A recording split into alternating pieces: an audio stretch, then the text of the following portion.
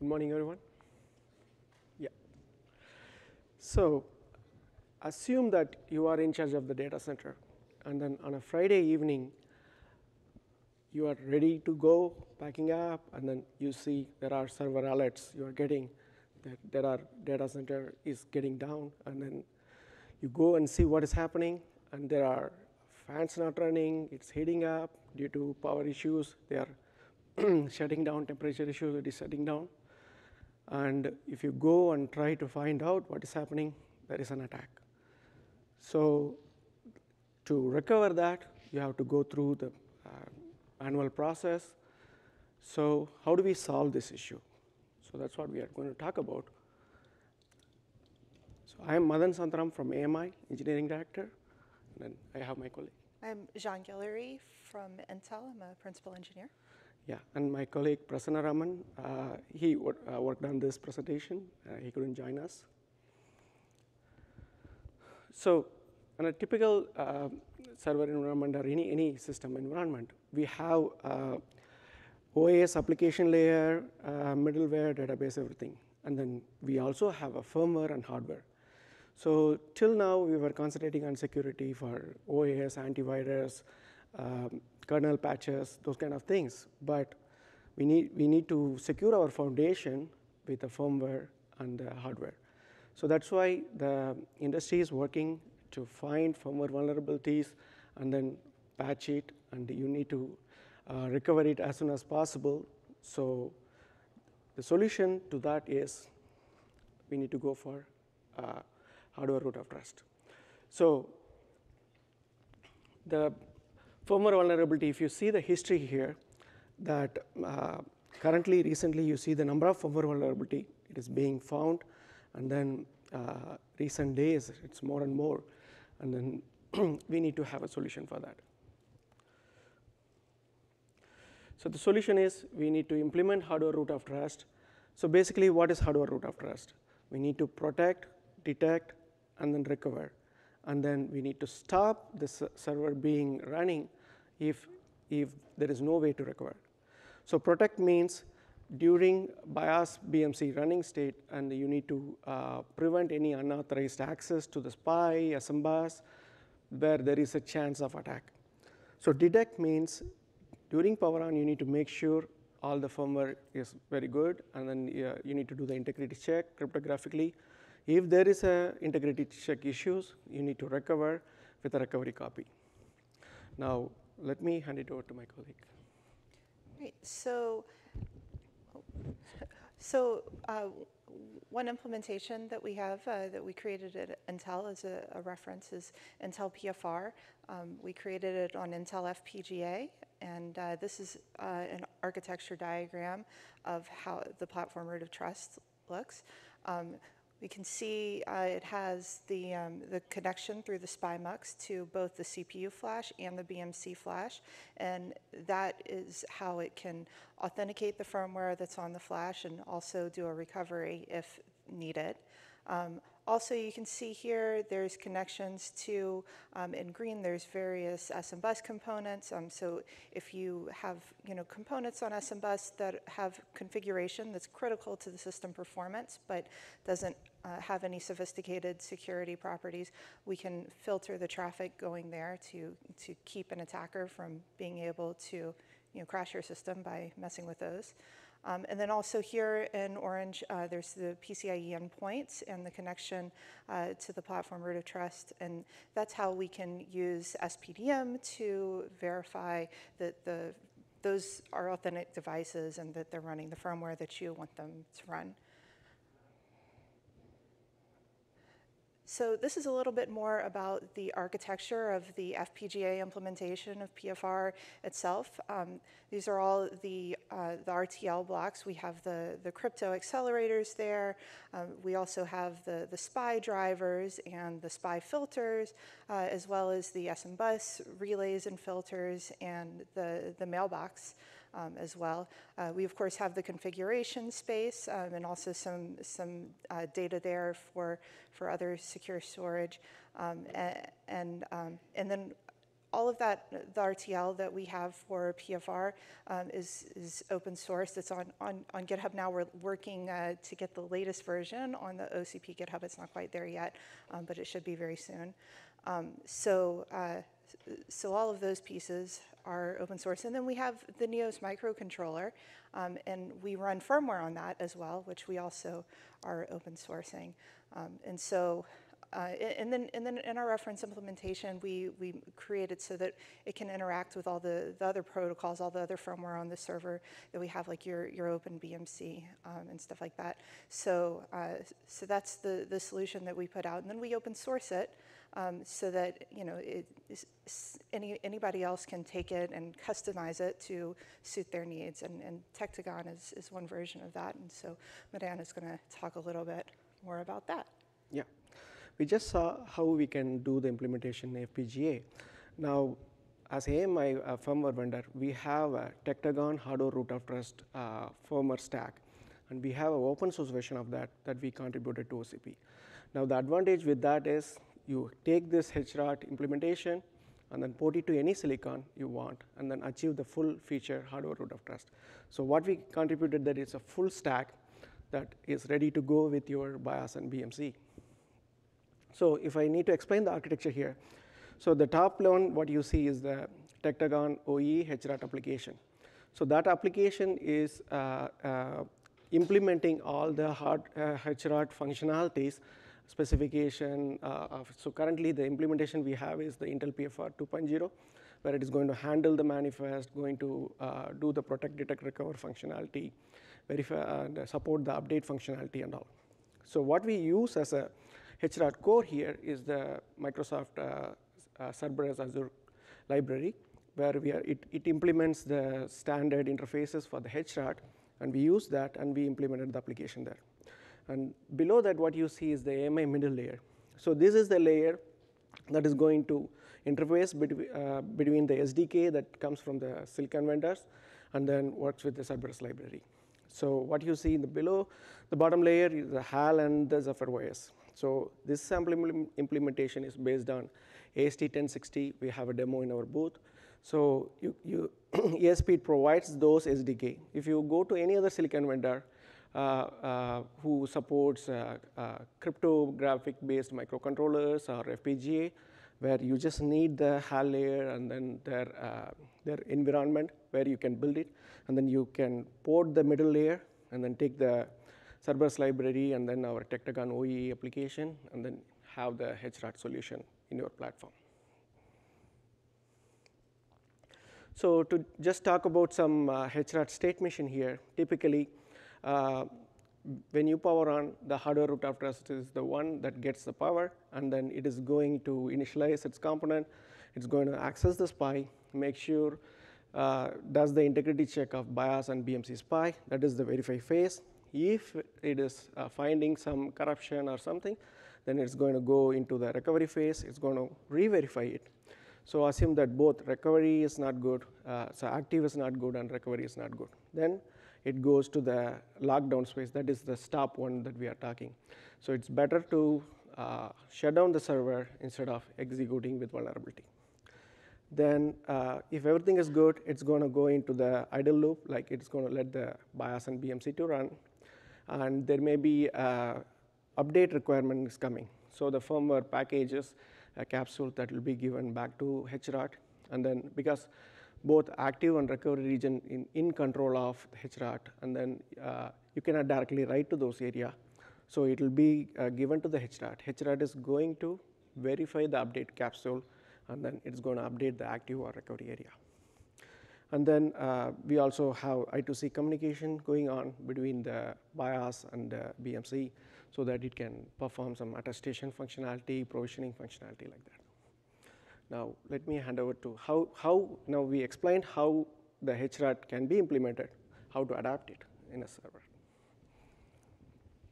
Right, so this is just a little bit about how the HROT works. Um, this is the runtime flow of the server, um, and you can see uh, that where the authentication and recovery happens is very early in the boot process. So basically, you apply power, and this comes up right away before your other components uh, that are that even that run on the aux power are out of reset.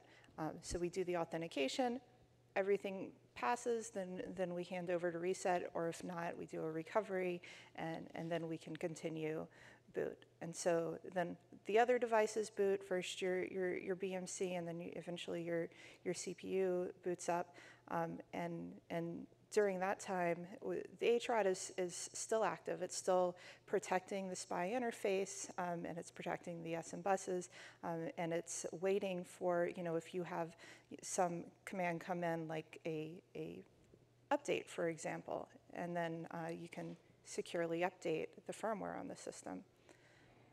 So this is a little bit about how we do the firmware updates. And so uh, we use a capsule for a firmware update image. And so what happens there is your, you know, your, your BMC, for example, can stage the firmware update that's, that's in this signed capsule format and let the HROT know, hey, I've got a firmware update, you know, go check it and, and, and update it. And so then the HROT will go out, read the firmware update. If everything's fine, then we, we start, we, we store this compressed. Um, so basically, so we don't have to store empty pages, right? So we store it compressed and, and then uh, if the authentication passes, we decompress it, we put it on the active image, uh, and then, then we let the system start booting it. Um, and we can, can also do this to the recovery area. So if you want to um, update your recovery firmware. We do a similar process, but uh, but but we, we check that the active image boots first with with, with that that uh, update candidate, so you can make sure that you're not you know updating to something that that, that isn't a good image.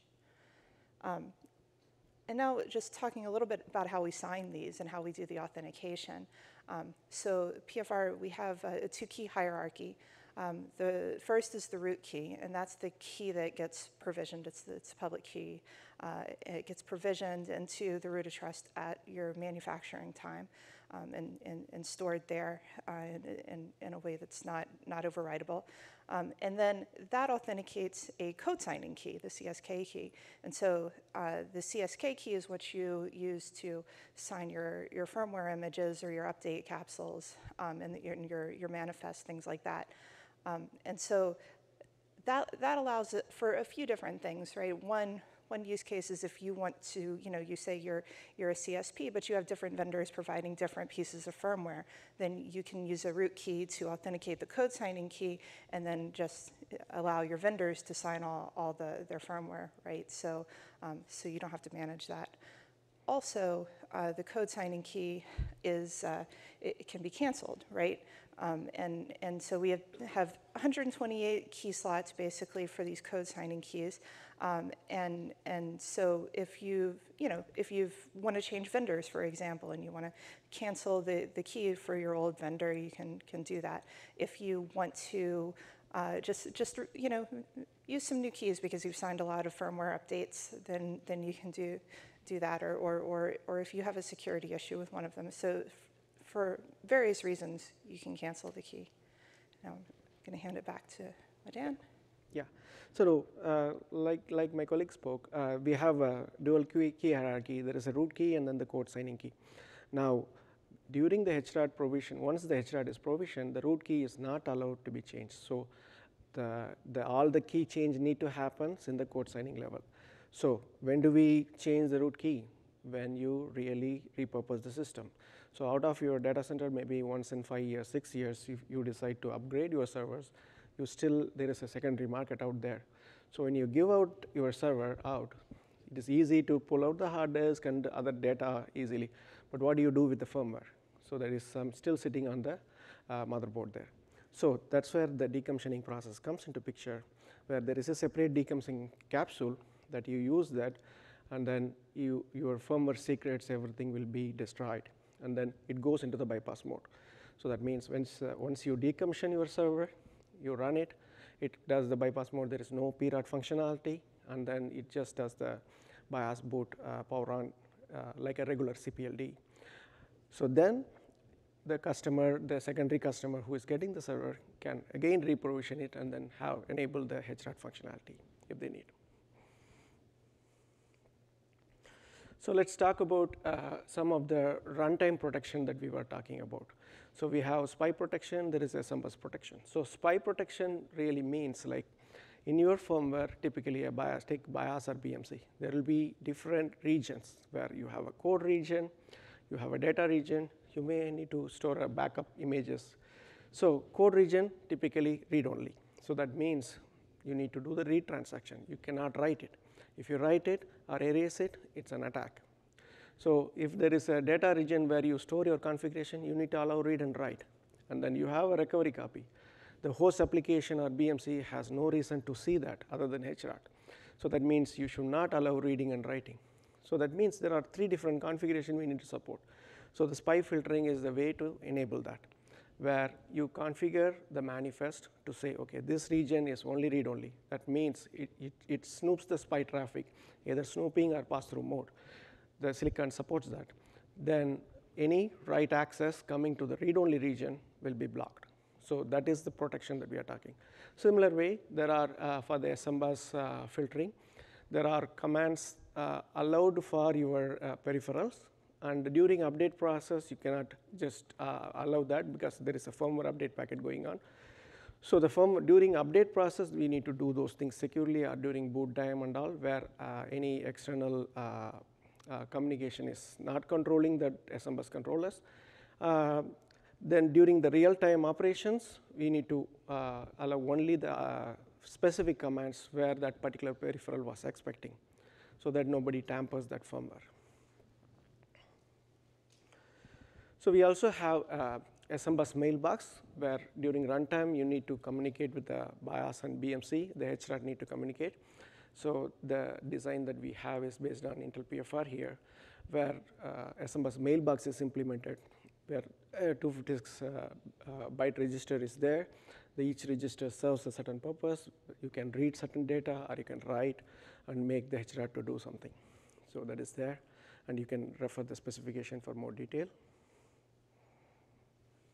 So in summary, uh, platform security cannot be uh, implemented just uh, open sourcing the firmware. Now we have the firmware, now you need to adapt that and choose the silicon that you want, or if you want to take it as it is, adapt to the silicon that we support today. And then we have contributed our full firmware stack to OCP, uh, try to make use of it. Yeah, and so, so for Intel PFR, we're also contributing the specifications and, and the latest version. We're, we're working on, getting that into the, the OCP database uh, right now.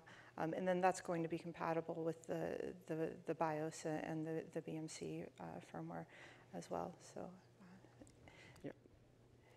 and then our call to action, uh, basically just just keep developing secure platforms and and and keep coming up with you know new new ways and contributing it back and, and get involved in, in the open source and, and, and work with us um, in that. So like I mentioned before, we contributed our Tectagon Open Edition sources into OCP. It is live now. You see the link here. And we are not stopping here. We will be working uh, to support uh, features like platform attestation and uh, exploring more possibility security features in future. So please work with us and then support HROT in all your servers. Thank you.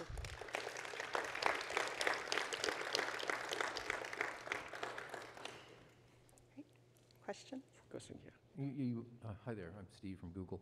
You implied this, but I want to make it explicit. Um, Does the customer, in this case, say, I'm the customer, have to maintain physical custody of those, of the hardware, root of trust, uh, from the moment that the root key is impressed upon it until it's destroyed? That if, if I lose physical custody at any point, I could be compromised? So, so the key that gets provisioned is, is, is a public key, right? And, and so if at, at any point, you know, i- i- i- the firmware that gets loaded on that system isn't, isn't going to be able to get loaded without the corresponding private key, right? So you have to, don't lose possession of that private key. Um, but otherwise, you know, if the system's out there, it's, it's, it's your public key. I mean, I, and I think we actually store the hash of the public key, right? So it's, um, you don't, don't really have to keep possession of it. It's just that no one else is going to be able to update it, right? Yeah, in, in addition to that, like if based on the silicon feature also, so if you use a microcontroller, there is a OTP area. So you provision uh, with one-time key, and then it has a secure boot functionality where you cannot have other firmware running in that un- unless it is validated. So you cannot go and then modify the secure uh, OTP area or uh, provision new keys and all. So you have to go through the decommissioning process if you want to change that root key. Otherwise, it is secure.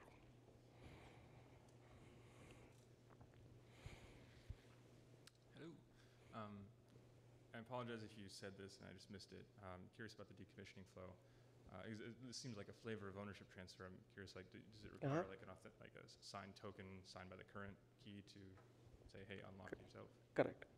Yeah, so it will be the, the decommission capsule signed by the root key because we don't want the code commu- uh, uh, the code signing key to be do the, doing the decommissioning. So typically, uh, OEMs wants the, or the uh, re- real manufacturer wants the root key, uh, and then the ODMs can own the uh, code signing key based on the different manufacturer that you have. So the decommissioning is a decision made by the uh, the particular platform owner who wants the root key, and then they can decommission it.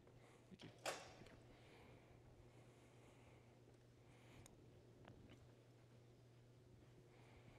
Hello. Uh, Our question that, for example, that we only talk about that to uh, the action on UEFI or BMC, but there are other firmware on the system. So, for example, system CPLD or HPM LPG. For this kind of where uh, firmware is always not mentioned. So, what's the consideration on this firmware? Yeah, so that's why in the uh, end of the slide I mentioned about SPDM and attestation flows in future. So typically uh, we will be able to uh, access the BIOS and BMC SPI. That's where the HROT concentrate.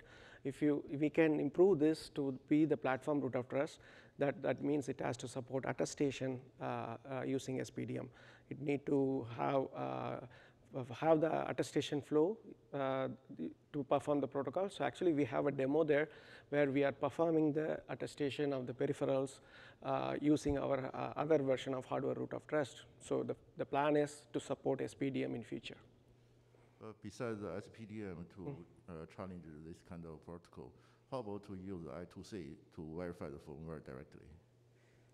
So, so we, you know, we do have that, that kind of um, thing for, for kind of devices that, that, that don't support the full SPDM. So I. I, I talk about the only the CPLD and LPG, so not the maybe PCIe device not in cover. Okay, uh, when you talk about CPLD FPGA, so typically if you bring in the update flow of the CPLD through the hardware root of trust, the issue is solved. So today, if you do a physical JTAG update, or if you if you uh, do directly out of band update through BMC, now it is not secure.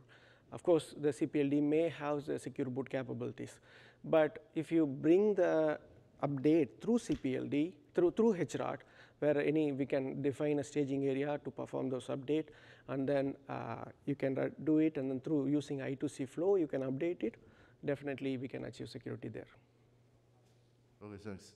Uh, in fact, our how some of our customer asking this kind of question. Also, we have some im- implementation. We can have more talk on this kind of thing. Okay, thanks. Sure, yeah.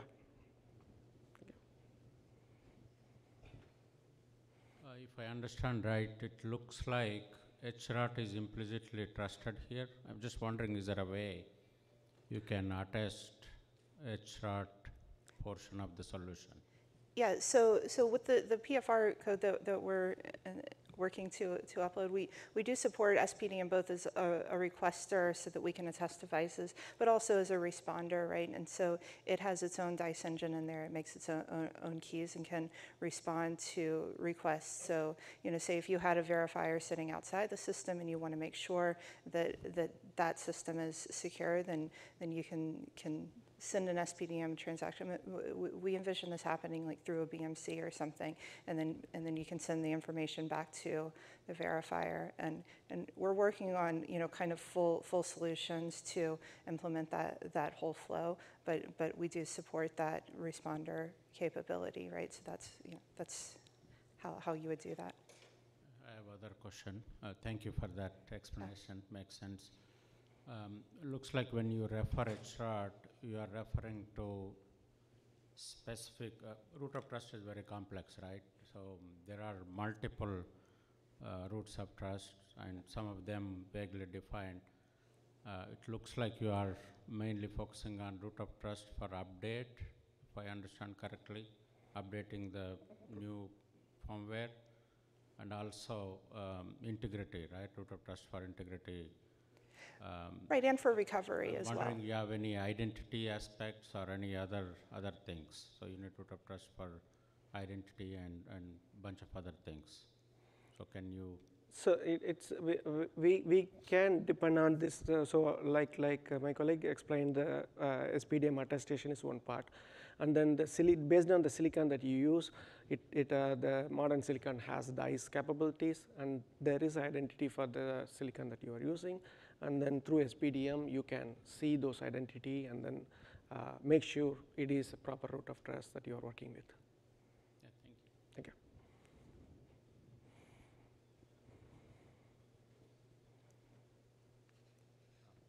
Similar terminology, are you guys collaborating with the, the Caliptra, or how do you contrast this HROT with IROT and those, those things? Sure. So uh, Caliptra is new to us also. So from what I understand, it, it is mainly for uh, IROT in the SOC. So this is a hardware root of trust that is going to take care of the platform. Definitely, it will integrate with uh, SOC to attest the SOC because that is a replaceable component, and we can attest that and make sure hard, uh, bring it uh, even the CPU uh, attestation as part of our uh, uh, trust integrity zone. Yeah. Sorry, so the follow-up is, so I'm assuming you're contributing the OCP, so you, you guys will be working together, or, you know, this is like one-time contribution and? No, no. So th- this is contribution made, and we will be maintaining it. So this uh, particular Tectagon OE will be maintaining it, and then we will be adding new features like SPDM. When we have SPDM, we'll see where Caliptra takes us, and then yeah.